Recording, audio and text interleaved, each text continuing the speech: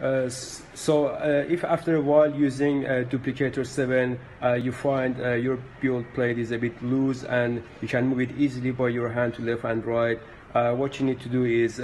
open up these four bolts here four screws here up here and then take out the build plate and remove this mm, block sliding block from back of the building plate. And uh, what you need to do is actually uh, uh, loose a little bit this set screw on the back of the sliding block and uh, then you need to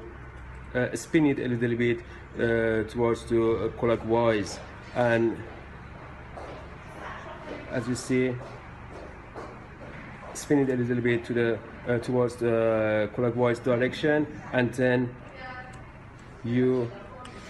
screw back tighten the set screw and then uh, assemble it back to the back of the building plate and also uh, to the printer and uh, hopefully uh, the issue solves and you won't uh, face uh, any wolving or shaking uh, of the printer. So what I said is just lose the set screws here and then spin it a little bit towards clockwise and then tighten the uh, set screw.